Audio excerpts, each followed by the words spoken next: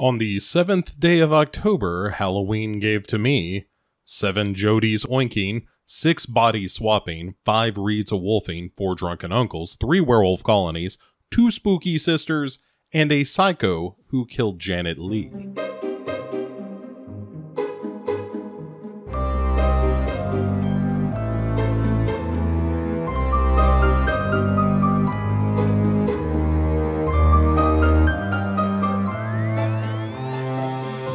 Hey everyone, welcome to uh, the 7th of October, and thus the seventh film we're covering on the 31 Days of Halloween here on Legion Podcast. Uh, or my part of it at least. There is plenty going on around Legion Podcasts. Uh, mind, all the streamers and the fake cobwebs and whatnot. Um, it is the best time of year for us. Uh, I can't tell you how much uh, fun I'm having doing these uh, conversations, one sided though they may be, uh, with you, the listeners, as uh, we, we get fired up for this season. And look, I'm not going to lie to you, uh, we're talking about a movie that is kind of important to me today. And that's, of course, the Amityville Horror, the OG Amityville Horror. Not this uh, Ryan Reynolds mess, not that kind of thing. No, this is uh, this is the real stuff, the the uncut, pure stuff, the kind of stuff that'll get you put away for years so this came out in 1979, and I must have seen this not long after it came out uh, because I'm an old man. Um, I I was, uh, you know, I was still a kid. Don't get me wrong, I was young, but I still saw it, uh, and I think it was one of those things that made its way to HBO. And if you're born after I don't know the year 1990, this is all gonna sound kind of crazy, but this is all the God's honest truth. So before there were VHS uh, players and DVD players and streaming services and that kind of thing, the only way you could ever watch anything repeatedly was either you went to the movies a bunch or HBO, which was still new. Uh, it was a nascent thing. And uh, they would get a handful of movies uh, that they would buy the rights to, and they would play the hell out of those movies. Like, HBO Now is more of a streaming service. I presume that's the way I uh, consume it at this point. Uh, I don't have cable. I haven't had cable in a long time. Most of the people I know don't have cable. They just subscribe to this the streaming stuff. So, and I, even still, I think if you uh, had cable, I think HBO just has such a big catalog at this point that they play all kinds of shit all all the time. But back in the old days, when we were using covered wagons to get to the stores, HBO had like eight movies, and they would play all eight of those movies all the time. And Amityville Horror was one of those movies. And so I saw it a bunch. Uh, it, it's a movie that was kind of burned into my brain for uh, a number of reasons, uh, not the least of which is just that I saw it a bunch. Um, you know, and that's one of those, eh, like, eh, there's an old saying that familiarity breeds contempt. And I don't know that that's true uh, in the case of movies, especially at a formative age, you know, when your brain's still mushy and, and you're forming uh, the, the things that you like and, and the things that you don't like. And Amityville Horror was one of those things I saw enough times that even if the movie is total garbage, I will never be able to cop to that because it's like I can almost recite it verbatim. It, it, it's a movie I saw all the time, and uh, so I hadn't watched it in a long time. Is the point? Watched it a bunch as a kid. It was a really formative kind of horror film for me. Uh, for a long time, it was my standard for haunted house movies. Uh, although that has certainly changed uh, when I went back and watched it again recently. Um, had a great experience with it though, because it was like me and the lady curling up on the couch and uh, ha- having a, a, hot bowl of beans like you do and watching uh, the Amityville Horror, um, it, just at me uh, at Legion Podcast on Twitter for more about the hot bowl of beans. Um, or, or you can find me on, on Facebook. Um, and we'll we'll discuss uh, how all of that shook out. Anyway, beans aside, ladies and gentlemen, the important thing is that I hadn't seen the movie in a long time, and I was really excited uh, to do so. Uh, I probably seen the remake not too terribly long ago, well, within the past couple of years anyway. and which I think is fine. I know that movie gets kind of a bad rap. I don't think it's great, but I think it's kind of fine as these remakes go. Certainly better uh, than that terrible Elm Street remake and and that Texas Chainsaw remake and uh, the Friday the Thirteenth remake. Uh, yeah, like it, uh, it's head and shoulders above that kind of stuff, uh, in my mind at least. And so, uh, watching it again with with that in mind, of like you know I don't mind the remake so much. I still prefer the '79 uh, version, and I think that all comes down to the cast. Um, uh, but let's do a couple of bona fides on the movie before we get into that. Uh, directed by a gentleman named Stuart Rosenberg, who directed such movies as Cool Hand Luke. You know, that movie. Um, Voyage of the Damned, uh, which is a, a, pretty good movie. Um, it, you know, like knows his way around a camera. Did some good stuff. Directed a bunch of TV back in the day as well. Um, couple of Twilight Zone episodes under his belt as well. Uh, directed the Pope of Greenwich Village, which is uh, is pretty good, and even has an Alan Smithee under his belt for a movie called Let's Get Harry. Uh, and I always love a director that's just like, you know what, take my name off this piece of shit. You can Alan Smithee this. And if you don't know the story, by the way, if I, uh, for those of you who do, bear with me for 15 seconds. So Alan Smithee, for years and years, I don't know if it's used anymore, it was a name that directors used when either the edit got taken out of their hands or something happened in the production of the film that they did not want their name attached to the resulting product. And so they would opt with an Alan Smithee film. And I think there's a documentary somewhere out there about uh, the use of Alan Smithee as a name. Anyway, really interesting little tidbit of Hollywood trivia for you. And uh, it, this was written by a guy named Sandor Stern, is the the screenwriter uh, on the Amityville Horror, who had mostly done uh, television as well, and and some TV movies and so forth this was all based on the novel by a guy named Jay Anson. And as the story goes, that Jay Anson and the Lutzes, the uh, characters and people in the film, that they had sat down at a kitchen table over a bottle of wine and concocted this story of the haunting uh, partly because the Lutzes were in a little bit of financial trouble, and and Jay Anson wanted to make a little money himself, and so there, the the Amityville Horror was born. More uh, Merlot than Gates of Hell. you know, the Red Room was Cabernet, but uh, regardless of how you feel about the veracity of the story of the Amityville Horror, and I know some people will go to their graves thinking that all all of the story that Jay Anson laid down in that book is true. I'm not one of those people, but it doesn't mean I can't enjoy it. Uh, for one thing, there, there's not uh, hide nor hair of any of the Warrens in this movie, uh, who got all up in the Amityville horror once the book came out, uh, because they they never met a buck that they uh, they didn't like.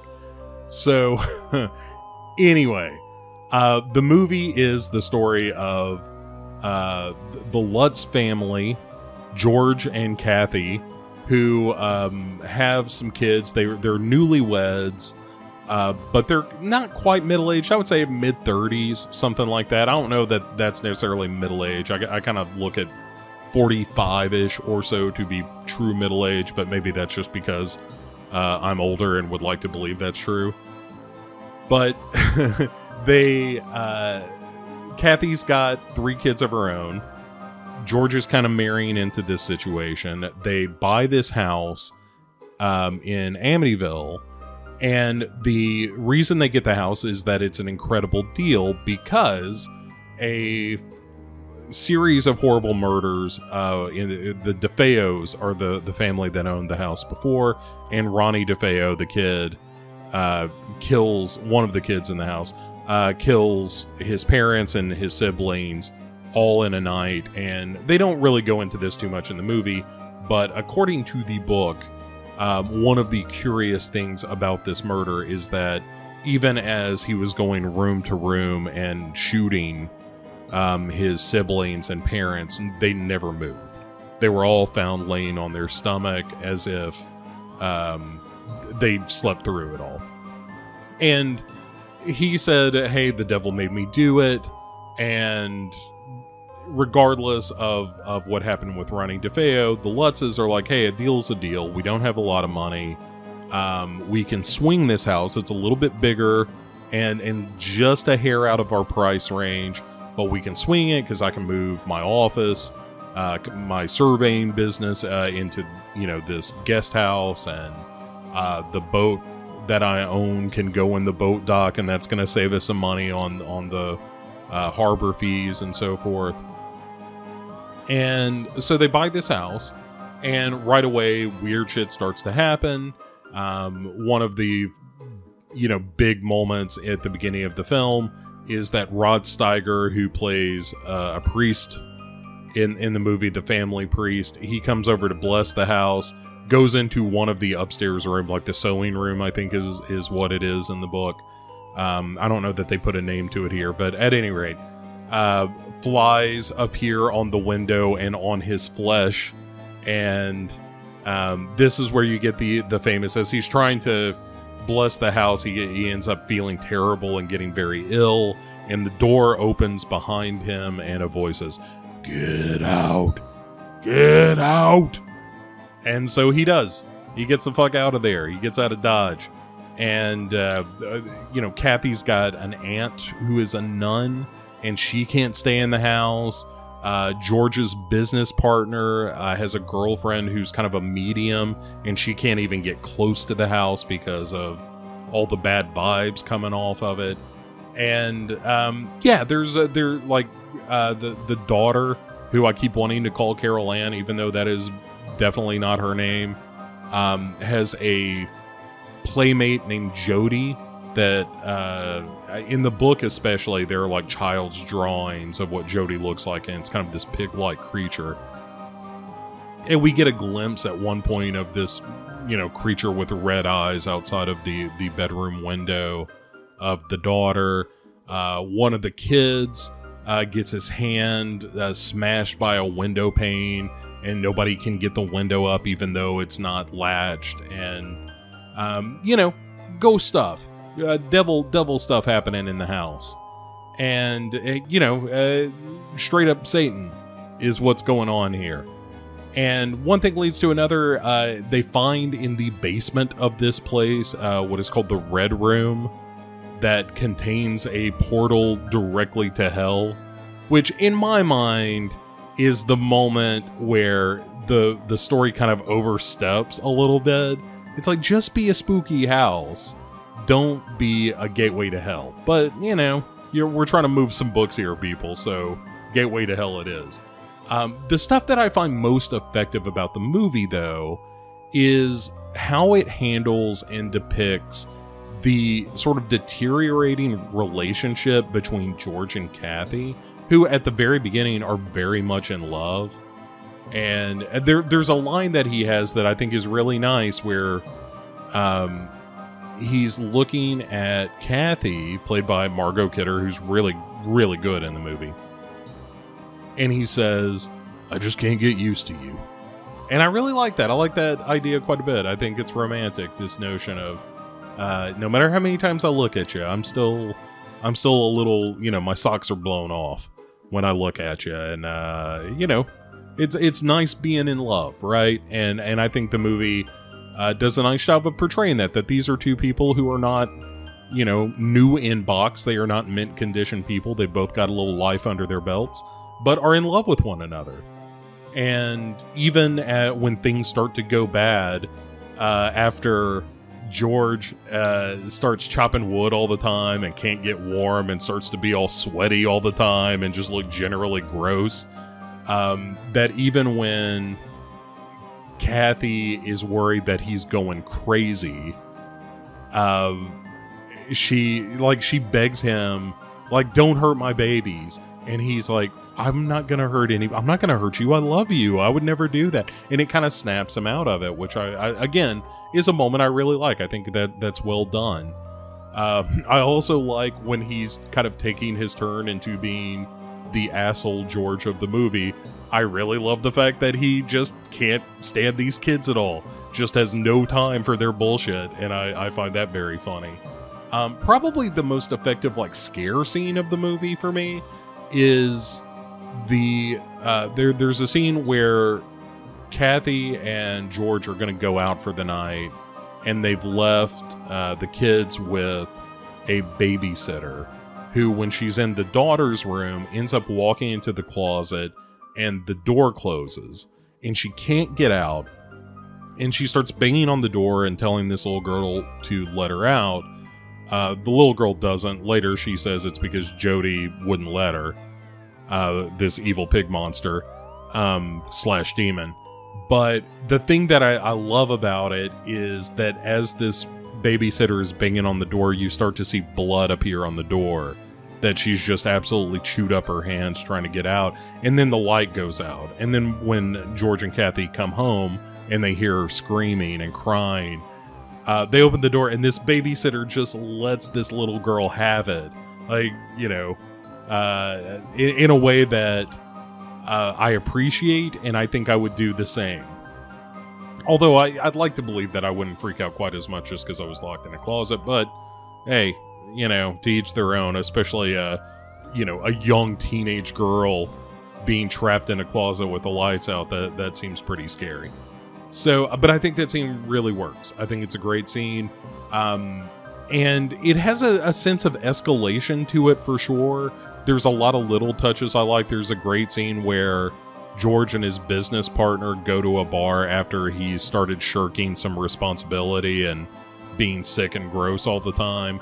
And the bartender drops a beer and is like, Holy shit, you look just like that DeFeo guy that killed all those people in that house.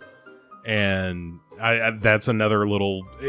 It's a uh, a brushstroke that doesn't really matter in the movie, but all of that stuff adds up, and I think that's maybe what Amityville Horror gets right. Uh, that a lot of other haunted house movies don't necessarily uh, get a handle on is the the idea that a lot of these things don't add up to make sense necessarily. Like, there's no reason that George would look like Ronnie DeFeo, but that adds a little bit of, of creep factor, and and that's what a lot of these touches are. The thing with the babysitter doesn't really matter, but it's creepy. Uh, there's a moment where George may have been bitten by a statue of a lion. Doesn't add up to much, but it's creepy.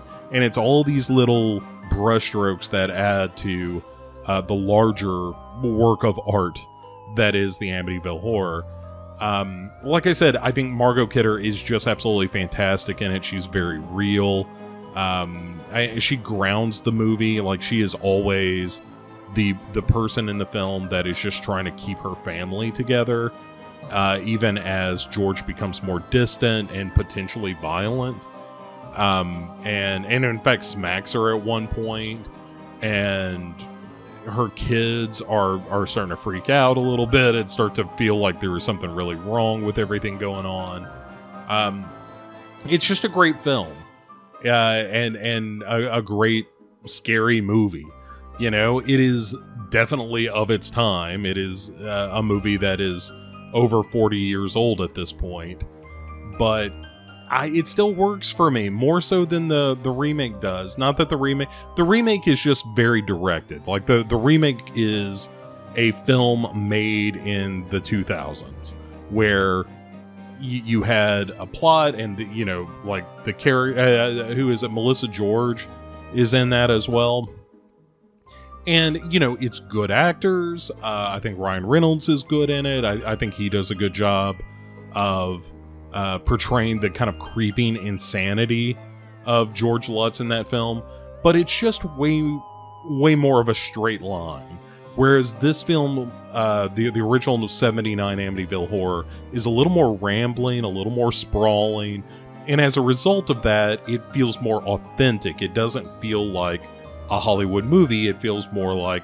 oh, this is, can you believe this crazy shit that happened to this family? And by the way, they got the fuck out of there and left all their furniture behind and never went back to this house. And again, this was at the height of the book had come out, people believed it and thought that the you know on the heels of something like The Exorcist, which had only been a few years before, and people believed that too. So there was a, a credulity that was happening in the 70s in regard to some of these horror movies, which, in fairness, not so much The Exorcist, but the Amityville Horror was telling you right off the bat this happened, and and the book in particular was was presented as gospel, like you know we have changed the names to protect the innocent, but all of this should happen, and uh, it also works. Uh, on the level of, uh, you know, there is a, a definite timeline for this movie where it's like, hey, after 19 days or 20 days or however many days it is they stayed, that they were out. And if you had read the book, which if you were alive in the late 70s, you probably had read the Amityville Horror. It was like uh, the summer reading book, kind of like Jaws was when that movie came out. Or even before, I think Jaws was, was pretty popular before the, the film, but the film made it infinitely more so. But the Amityville Horror was the book itself was a bestseller. Like people read the shit out of. it. I had a paperback copy of the Amityville Horror, I don't even know how I got it. I think they just handed it to you on the street, like the Hare Krishnas. Uh, but you had it, and so when you saw the movie, you were like, "Oh yeah, this really happened, everybody." Um, maybe they're not getting all the details with the book right, but we all know that this happened, and yeah, it's uh, it, it it's amazing to think I was gonna say it's amazing. I think that we were that gullible as a society, but then you look at the world around us now and uh, how people just can't wrap their heads around the idea of getting a vaccine to save their lives and the lives of loved ones. And I guess we're no smarter than we were 50 years ago or 100 years ago. Um, you know, you hope that, that the human race is going to evolve, and it just don't. Uh, but that is not the conversation we're having now. This is about the Amityville Horror and uh, and how much I love it. And I do, I do. It's a flawed movie for sure. Uh, you know, the thing with the priest ought to matter a little bit more, but that ends up going really nowhere other than he goes blind, and that's kind of it. Um, you know, if if this were a real movie, and not just uh, the you know the events based on the book, then it would have a more satisfying conclusion. Other than well, they left. Everybody grabbed what they could hold and got the hell out of there with their dog, uh, Harry, which is a great name for a dog. Um, but, but, you know, it's a minor complaint for me. I still enjoy it. When I watch it now, I can definitely see uh, the seams uh, of this movie a little more, but it means something to me. You know, this is one of those movies that's more of a comfort food. Uh, and it's something that I, I've, I've probably said already this season on the 31 days of Halloween, and I'm almost certain to say it uh, as we move further into the 31 days, is that a lot of these movies are, are just a nice warm blanket for me. And even though this is a movie in which children are put in danger and priests have to flee a house because of Satan, um, I find it weirdly soothing. And uh, it, it's a movie I can kind of throw on in the background this time of year and you know, do some other stuff, clean the house, or work on some Halloween decorations. Uh, which, guys, I got to tell you, I'm very, very excited to show off some Halloween costumes this year. So, anyway, um, but you can kind of do that stuff with uh, Amityville Horror on in the background, and I know it so well, I can just kind of drop into any of the scenes I really like, like the scene where George just goes fucking nuts in the living room for no good reason, starts freaking out in a chair uh, or when the brother loses his money uh, on the way uh, to the wedding and he can't pay the caterer and all that stuff. Like, that is just stuff I kind of love about this movie because I'm so familiar with it. It feels like uh, rereading a good book. And uh, now that I say that, I feel like I should go back and reread the Amityville Horror, of the book, uh, just just to do it, just to refresh myself because I remember thinking how scary the book was, uh, especially compared to the movie. The movie is, is creepy, but the book was genuinely much more frightening because of you know theater of the mind shit, right? Like uh, you can say, hey, this babysitter got trapped in uh, a closet, and you're never gonna believe what she saw, and your mind uh, fills in those blanks. Whereas in the movie, it's just like, oh, she was trapped in the dark and her fingers were bloody. Uh, her knuckles were bloody from pounding on the door. And that's creepy and effective, but it's nowhere near as creepy as an, and, and effective as letting, you know, your own imagination fill in those blanks. Um, but nonetheless, I love the Amityville horror. Your mileage may vary. This is one of those movies where I can't really be very objective about it. I don't know if you, as a listener, would enjoy it as much as I enjoy it, uh, because it is such a, a nostalgic film for me. And I don't like that's the thing. I don't like movies that try to make me feel nostalgic or shows that make me feel nostalgic, like uh, uh, your Stranger Things, which is my usual punching bag for talking about nostalgia pieces. I like the movies that I saw when I was a kid. That's what makes me feel nostalgic. Not a movie or, or show that reminds me of the thing that I liked. Let me just watch the thing that I liked. You know, let me let me watch uh, a, a, an Amityville horror. Let me watch a The Howling, and that's the thing that's going to make me, you know, feel a glimmer of that thing I felt when I was a kid and saw it for the first time. Um, so yeah, that is uh, tonight's essay about nostalgia and so forth. Uh, but uh, at any rate, I hope that you enjoyed hearing me uh, lovingly discuss the Amityville horror and all its flaws and all its strengths. Um, I'm very curious, as always, what you make of the Amityville horror from 1979 and all of these movies. So uh, you can find me on Twitter at Legion Podcasts. Uh, you can go to Facebook and uh, there's the Facebook group and or page for Legion Podcasts, and you can tag me there. Uh, or you can drop me a line at Bo, B-O, at legionpodcasts.com if you have some thoughts uh, about these movies or suggestions for movies, or you just want to say, hey, I heard the thing you said about the Howling, and I agree. I, I like that too. So, uh, means the world it really does means the world when when people reach out and uh, and and talk about how um, y- you find these movies because uh, I think at the end of the day we're all looking uh, for a, a little bit of a home in in so many ways and that is one of the things I've always uh, strived to do with Legion podcasts is to make this as welcoming a place for horror fans as possible uh, so long as you're not an asshole. And uh, the people that I interact with who are listeners and fans and hosts of Legion podcasts, uh, none of them are assholes, and I appreciate that a lot. Uh, so, thanks for not being an asshole. I hope you don't think I'm one. and uh, come back tomorrow. We're going to do a whole nother movie. The first week is in the books now. Uh, time keeps on slipping, slipping, slipping into the future but it's slipping all the way to Halloween. And between now and then, we are going to have 20 plus more movies uh, to discuss before we land on our final film. As always, I'm not going to tell you what we're talking about tomorrow. You got to come back and uh, and find out for yourself what movie it is we're going to be discussing. Uh, hey, and let me just end by saying, hey, the Amityville Horror, you can do a whole lot worse on a chilly fall evening as Halloween approaches than to throw on the Amityville Horror, pop some popcorn, curl up with uh, the person you love, and uh, and and let a house shout at you for a little bit. So, uh, thanks for listening, and we'll see you again tomorrow.